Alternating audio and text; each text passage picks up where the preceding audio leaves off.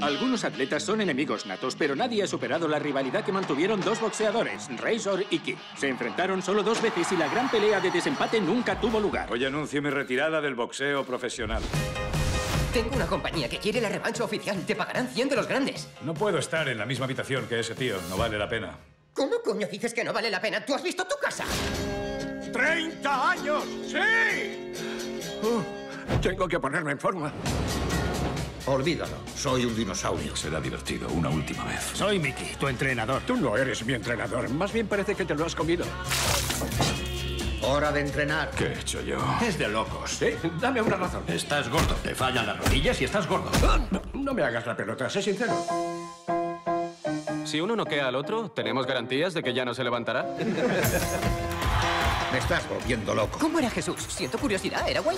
Vaya, cuando alcances la pubertad vas a dar mucha guerra. Vamos, es la oportunidad de acabar con esto de una vez. Todos se ríen de nosotros, pero no estamos muertos. De hecho, me siento más vivo que nunca. Por más que os esforcéis, no estáis para muchos trotes. Es lo mejor que tenemos.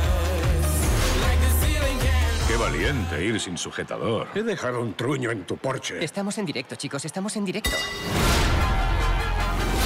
¡Eh! ¿Qué haces? Hemos venido a comprar algo de cena, no tienes por qué pegarle a todo.